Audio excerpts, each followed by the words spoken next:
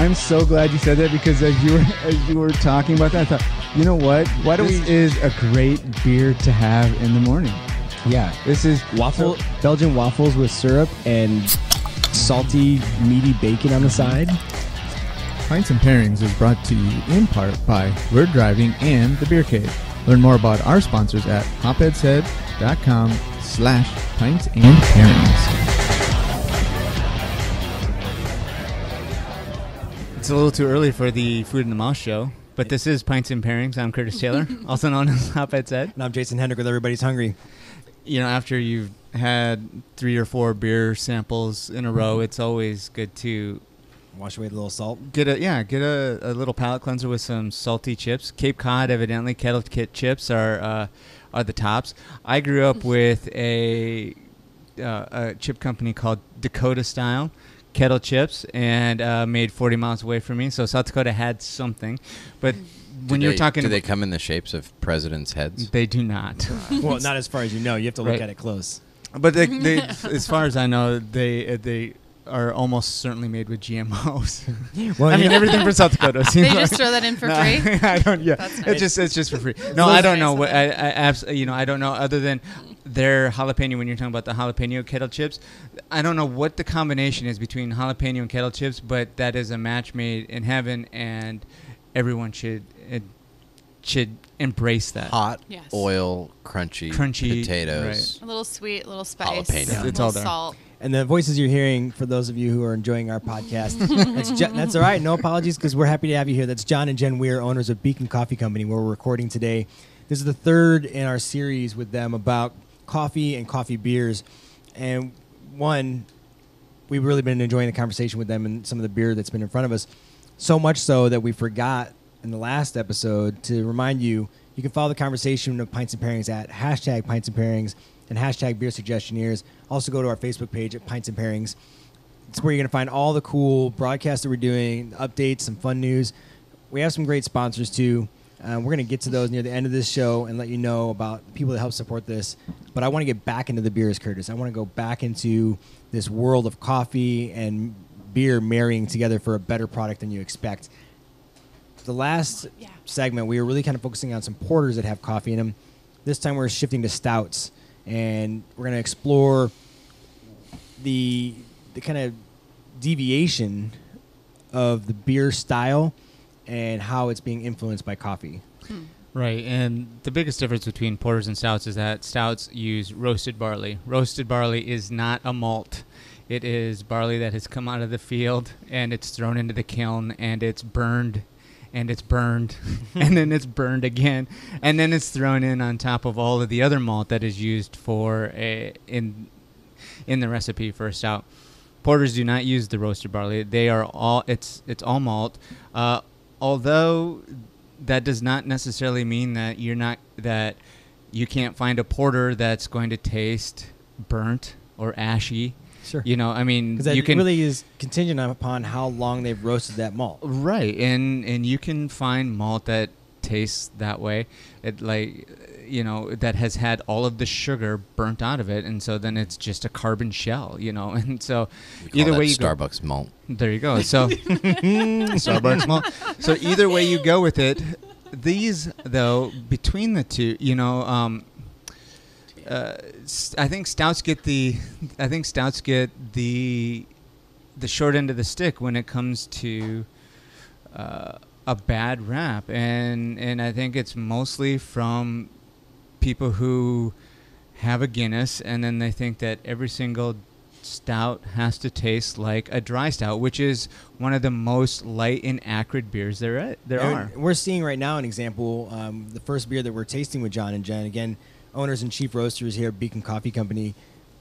As experts, John, we'll, we'll definitely give you the uh, the Starbucks malt comment because as a chief roaster, you've been in the industry for what, almost 20 years.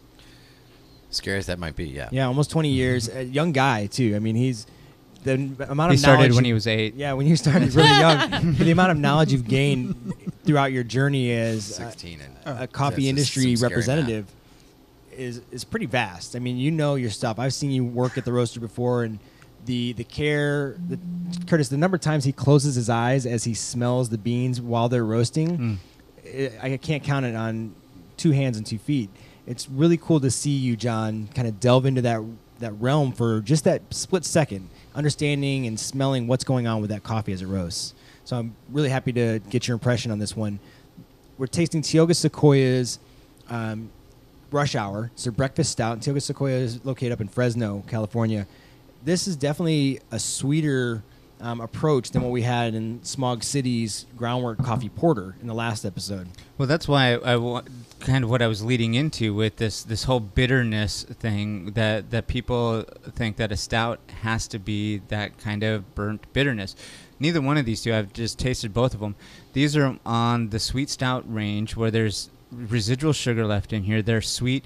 They've got a wonderful chocolatey sort of flavor with it, and it's it's a natural pairing to for to put a coffee in here. You know, to to add just a, a, another layer of complexity to the already beautiful chocolatey flavors. So, John and Jen, coming from your background, what's your initial impression on this coffee? And if you were predicting or um, speculating on the process that was used, what do you think happened with this coffee and the beer? well, on the on the one hand, you, we're getting a little bit on the nose in the same way that we were getting it with the Smog City. Um, but I don't think that this was. Um, I don't think that the grounds were were simply added. I I think there was a cold brew made here, um, but to Curtis's point, um, while this has the color of stout and it's dark, I don't think that the coffee that was used here was roasted to anything close to uh, Viennese or, or French roast. So I, I think they've roasted it in such a way that they could get that nice, uh, sweet, chocolatey uh, ness out of the coffee, mm-hmm. and then probably did that in a in a concentrated cold brew. Well, it's pretty mm-hmm. cool. I mean, again, leveraging your your expertise and your history with coffee, I'm going to give you the description on the bottle, and you tell me, Jen, if your uh, your husband hit it on the nose or not. so, Rush Hour is a full-bodied breakfast stout that uses 60 pounds of fresh Col- Colombiano Caldono coffee per batch. The beans are roasted and ground locally by Cafe Corazon. The coffee is then cold pressed and infused into our chocolate milk stout, creating a creamy, bold, robust, yet silky smooth breakfast stout. Wow wow. Okay. Yeah, I think you nailed it.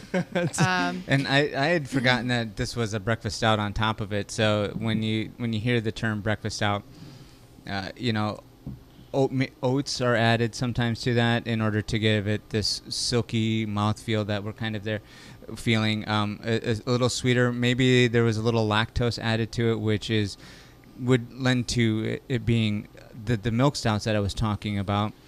Um, but it would also lend it to. I mean, just just having lactose in there would lend it to to pair well with coffee. Sure. Uh, there's a reason that, that that lactose and the bittersweet chocolate notes of coffee play so well together, and it mm-hmm. doesn't matter whether that's happening over ice or whether that's happening in hot coffee. Um, you know, this the marriage of of milk and coffee goes goes all the way back to the goats in Ethiopia, as it, as it were. They, although it was probably goat milk, not right.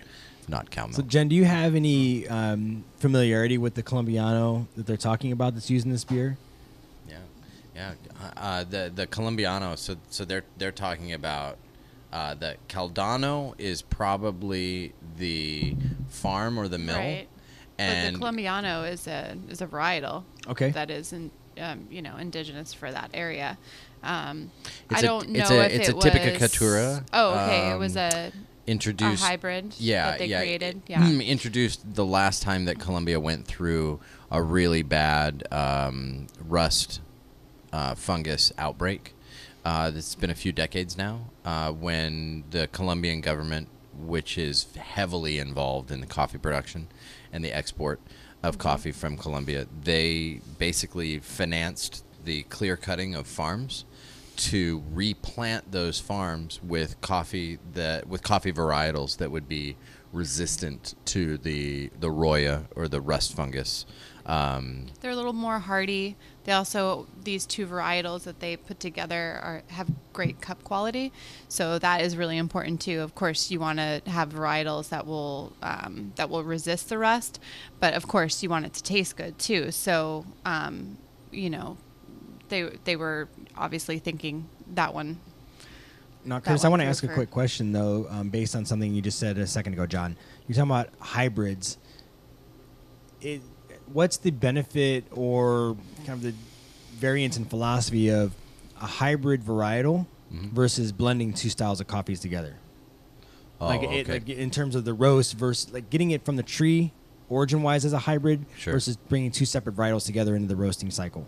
Well, so I think uh, we need to separate those a little bit. So first and foremost, when we're talking about hybrid varietals at origin, 99% of the time we're talking about Latin American coffees here. Because it's because the coffee plant is not indigenous to Latin America. It was brought from East Africa through Indonesia by the Dutch. So, because of that, when coffee became commercially viable in Latin America, they had to hybridize African plants so that they would produce better. So for the same reasons that that you know that we started crossing peas in order to get more peas in our pods, as it were, we we have also hybridized the different heirloom varietals from Africa in order to have higher producing plants. And in the last 30 years, it's become very important to then either through hybridization or through grafting to to disease resistant rootstock uh, to hybridize for disease resistance. very similar to, to wine and um, citrus trees, right? Where Yes. you're grafting on something that produces your final product, but the root system is really, for lack of a better term, rooted in a solid foundation. And and, and and and the other common theme there is when one wants to grow a fruit tree in an area of the world where it is not indigenous, one has to mess with it a little bit in order to make it be successful. fair enough. Mm-hmm. Yeah. So, Curtis, what's your impression right now of this Tioga Sequoia? I think, especially now that it's sitting, because one thing that we didn't talk about previously with the coffee specific segment is how the, the flavor profile and the aroma changes as it cools. In the converse, as the beer warms, it's going through a similar degradation and change. What are you What are you getting out of this glass as the beer warms? Well, there's mouthfeel wise and, and that way there's there's not a whole lot. I mean, this is a milk stout, so there's this there's already this palate coating kinds of of sensation, even if it is highly carbonated. You know that it's going to be really hard to cut through that, and just the, as the carbonation escapes and as as it warms, it's not going to it's not changing the body feel uh, uh, a whole lot. Um, I think it's getting chocolatier, if that's uh, I agree. a, a, a, I- a- I- I- a it- term. It maybe it's, the chocolate's just coming to the front of the palate, Mhm. you know, and it's it's overpowering. Well, I think for that reason that you brought up, it, my mind is really shifting towards a pairing that dumbs that down a little bit. Um, you know, we always talk about desserts, and I think it, it's just an easy thing to go towards, but I think it needs some kind of biscuity aspect. It needs some shortbread or it needs some pound cake or something, something buttery and less chocolatey to really draw back some of those notes that we're starting to get out of the glass. And when we look at meats or entrees, this honestly for me would be a tougher pairing. I would have to go maybe something like duck or a pheasant, where the gamey bird kind of direction, mm-hmm. because it's there's enough sweetness there to really heighten the sweet succulent notes of some of those game birds and that fatty oiliness. But other than that, it'd be tough because I think the beer might overpower most ingredients. I think you're right that it's that it's going to overpower almost anything, and it uh, it'd be In a great uh, way, but I mean, you're going to lose out on the other item that you're trying to taste a- with it. a difficult pairing other than say you know as as the dessert i mean this is your dessert with your meal kind of thing um, I- or or as your breakfast Yeah, I usually associate breakfast coffee or breakfast.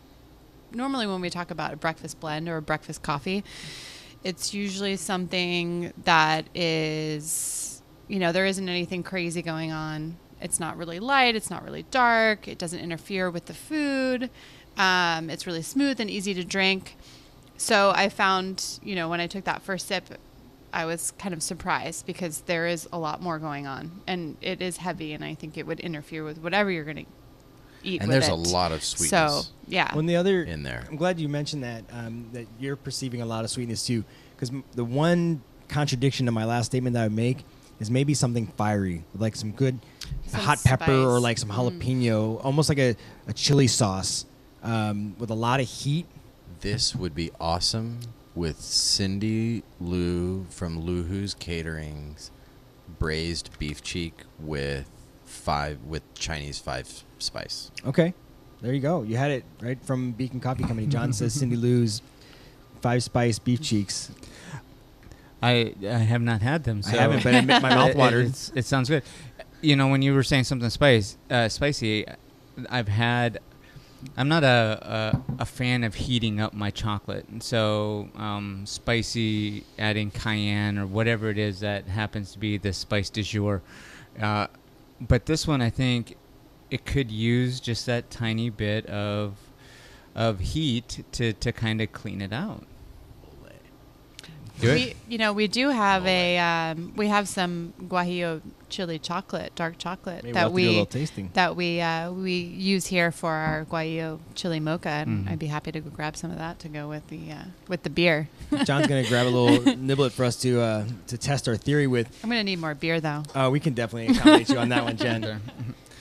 Um, while Jen's pouring a, a refresher on the breakfast stout over my laptop, um, which Steady hands. Yeah, steady as she goes.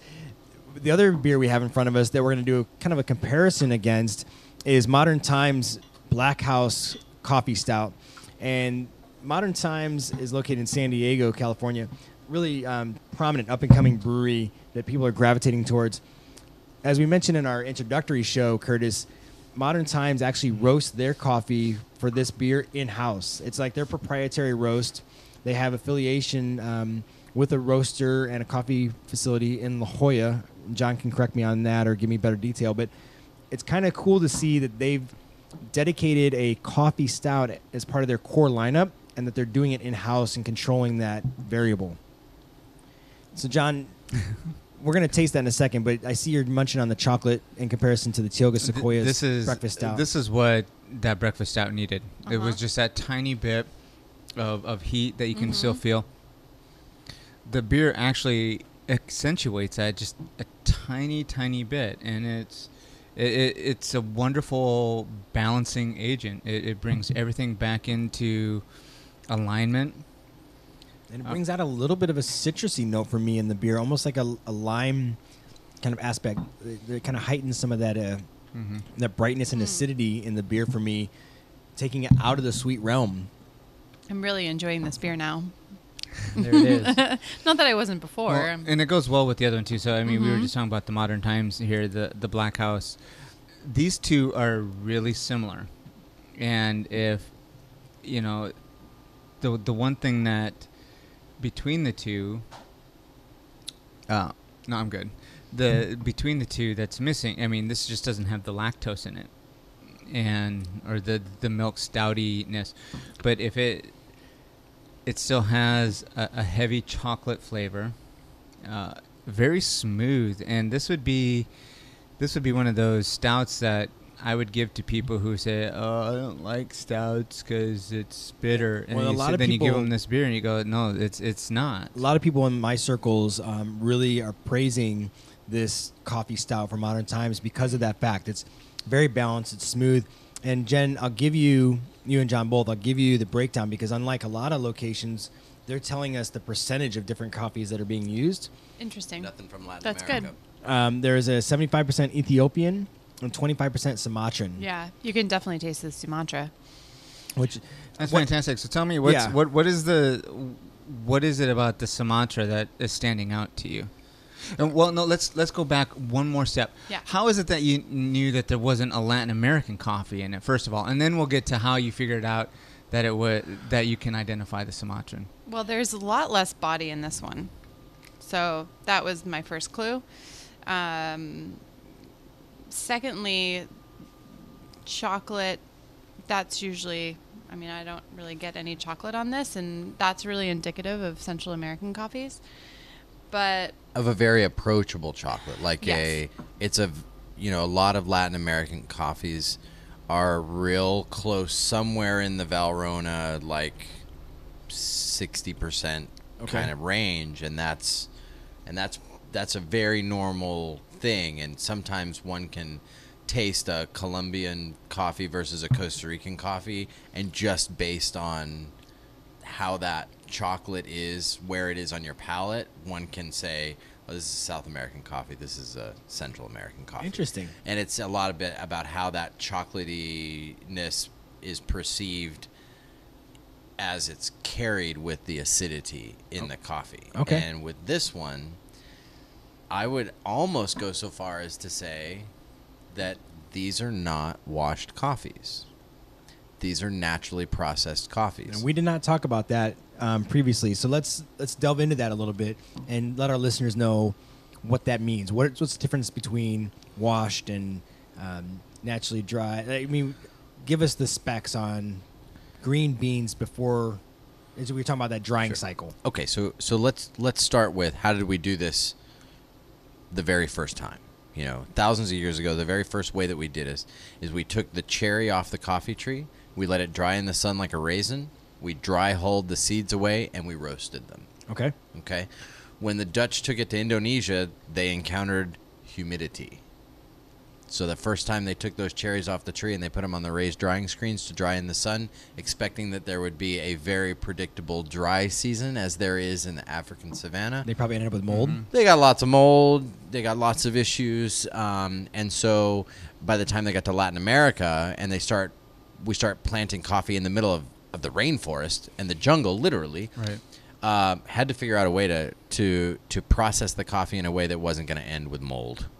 So that becomes a race against time to get the seed out of the cherry and away from the fruit as quickly as possible so that the humidity or the unpredictable rain cycles don't lead to molding issues.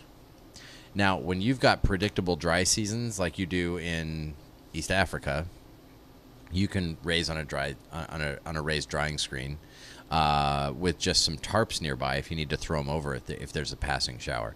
And in most of Sumatra, most of the coffee is produced in a process that is about halfway in between the idea that we're going to let the cherry dry on the outside of the bean and the idea that we're going to take the cherry away from the flesh of the bean as quickly as possible and then we're going to rinse any of the remaining flesh that's on the That outside of the bean exactly Okay. so in your mind if you're if you're trying to picture this in your head think a piece of stone fruit Like a peach or an like apricot. a peach or an apricot, right? And take the pit out, and now it's still covered in that last little bit of fruit that you you can't get off of there. So you might soak that pit and then rinse it off. You've you've just in a microcosmic way seen how you wash coffee.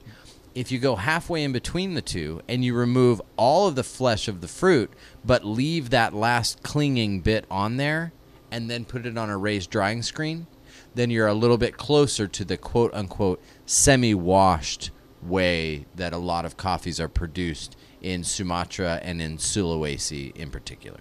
Interesting. Yeah. And what that lends itself to is a coffee that doesn't have high, bright acidic notes. And so, if you can imagine, think back to our, our previous discussions about what happens, the difference between brewing a coffee with hot water or cold brewing a coffee into toddy. Well, you're already nixing the top 15 or 20% of those high notes and the brightness and the acidity when you use the cold brewed method. Now, if you start with coffee that's already really heavy, syrupy body, no bright acidic notes, and then you cold brew it, you're going to reinforce something that that coffee already has as a strong component of its flavor profile. And I think that's one of the reasons why this really blends well together. I think that's why it works in the modern times. we were talking about um, again modern times tie-in with I believe it's um, Eagle Rock uh, in La Jolla. I'd have to go back and look at it. I was Bird Rock. Bird Rock. Thank you. Bird I want to say Eagle, uh, Eagle Rock's a different brewing company. It is. I know. I was like, wait a minute. Are so they Bird roasting Rock, too? No, no, no. Um, what I'm intrigued by, though, again, is the fact that they're taking a, a focus and a philosophy on roasting coffee, bringing it in house instead of outsourcing. They're bringing the roasting into their brewing facility and making a coffee stout, an oatmeal coffee stout, part of their core lineup. Um, Curtis, when we look at beers that people are loving, I wouldn't normally think that this style of beer is a mainstream selection, but Modern Times is making it work. Right. This is a, a, a niche beer, uh, certainly, and and coming in at 5.4 percent. So let's just let's back up and look at the, the ABVs that we've had here so far. The the Frantic is 7.3. That one there is 7.2.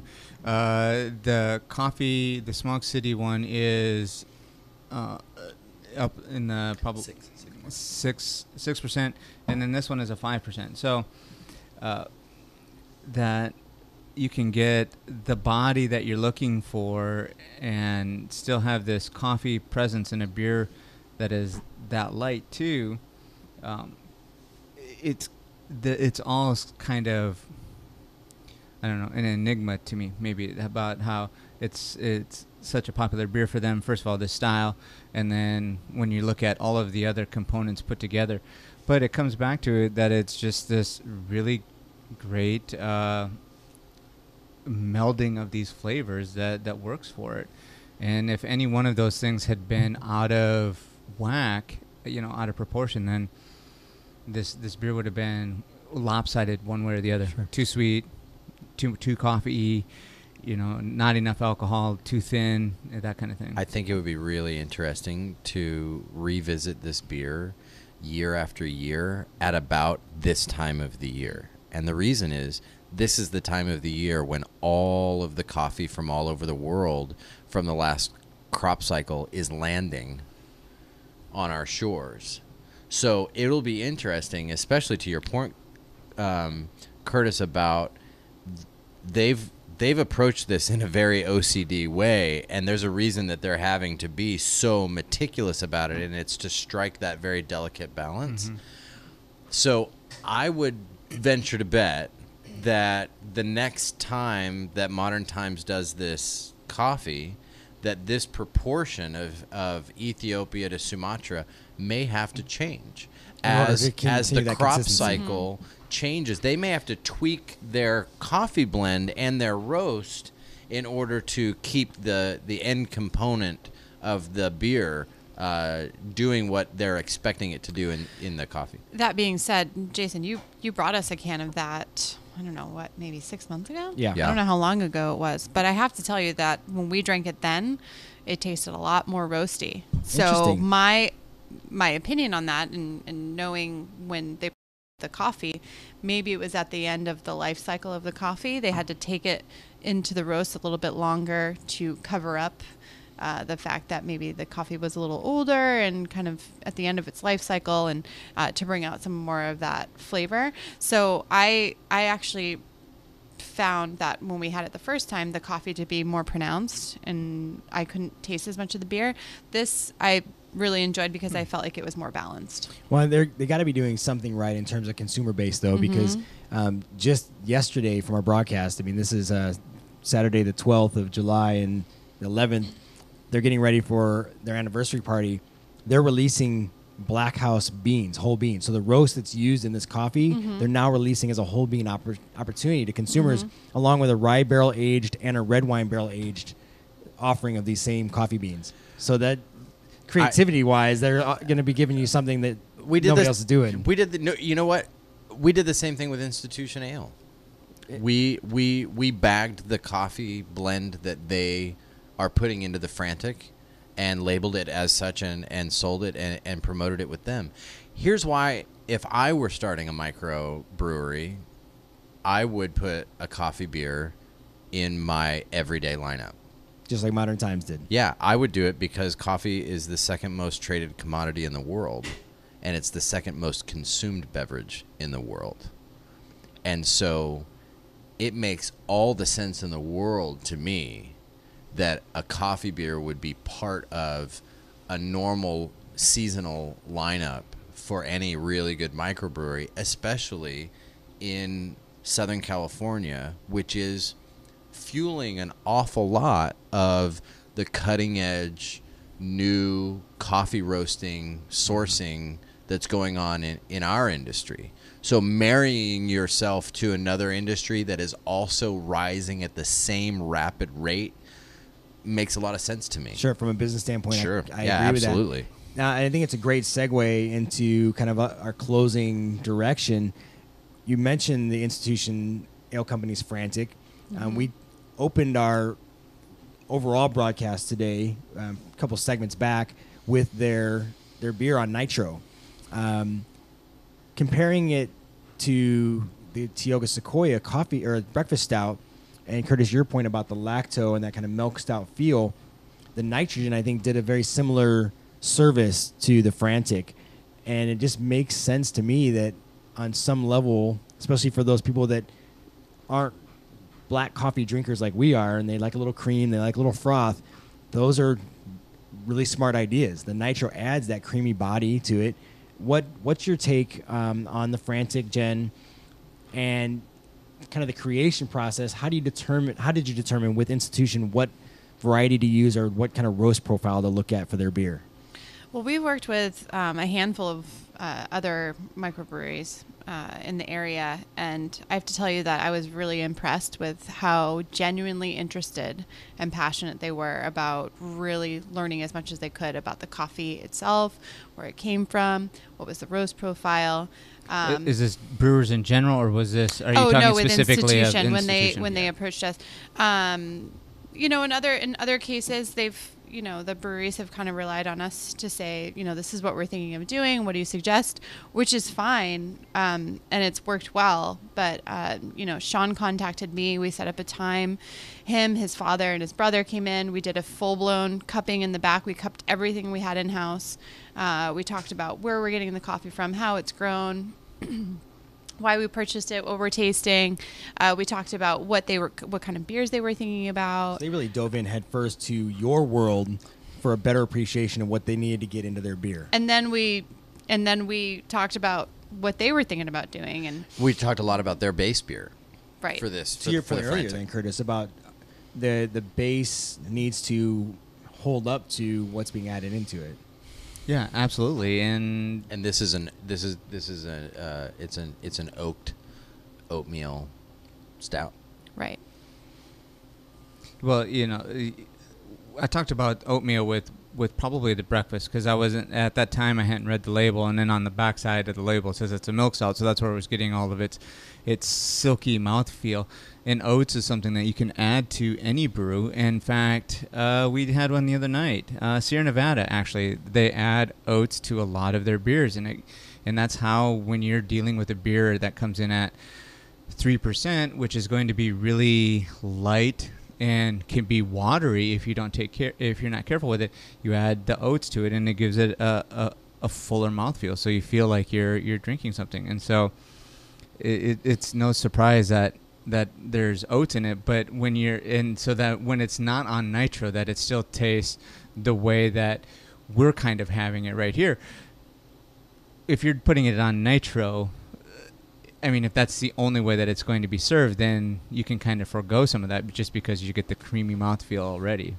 Mm-hmm. Well, I don't know about you guys, but I've really enjoyed not only the conversation but the beers we've tasted, and I wouldn't mind just refilling a glass and having some off-air banter because one, we're gonna need a little extra time to burn off some of these beers, Curtis, and two, we're in Beacon Coffee Company of Ventura.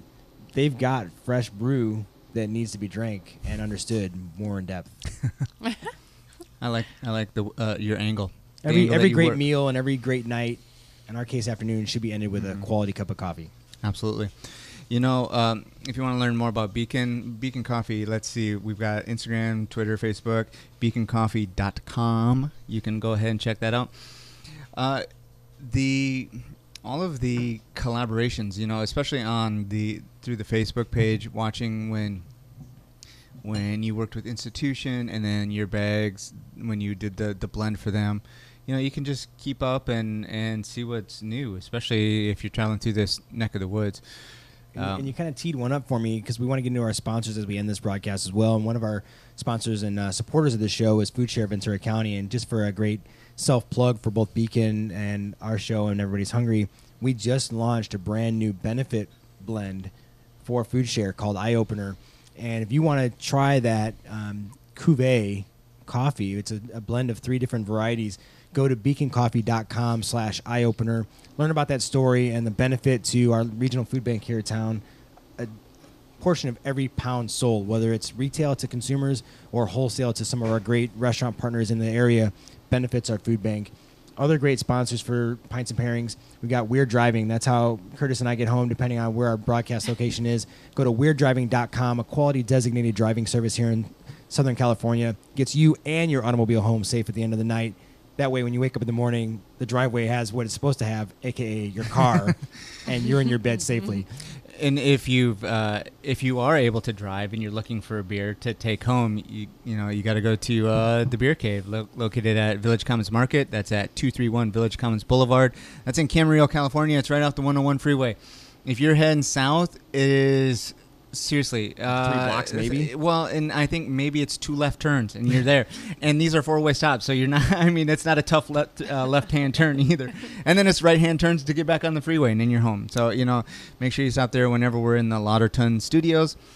They are uh, they're our beer sponsors. And we want to thank uh, the Lab 805 for all our great on air signage and their help with our exposure for Pints and Pairings. Follow the conversation at hashtag Pints and Pairings, hashtag Beer Suggestioneers. Give us a like on Facebook.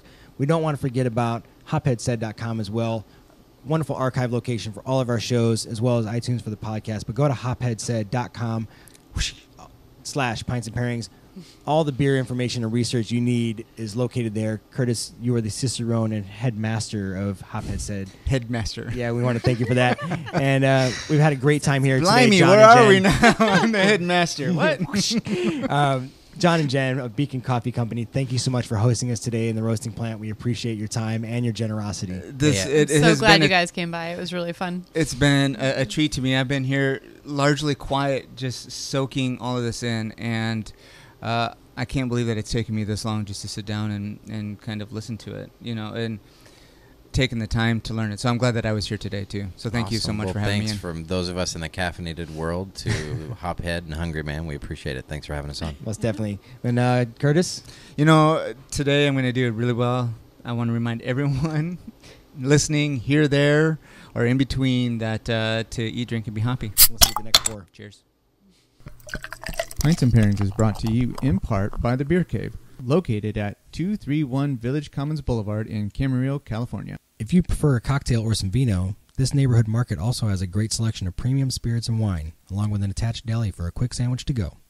When you stop in, be sure to mention that you heard about them right here on the Pints and Pairing Show, and maybe grab a sandwich for me on your way out.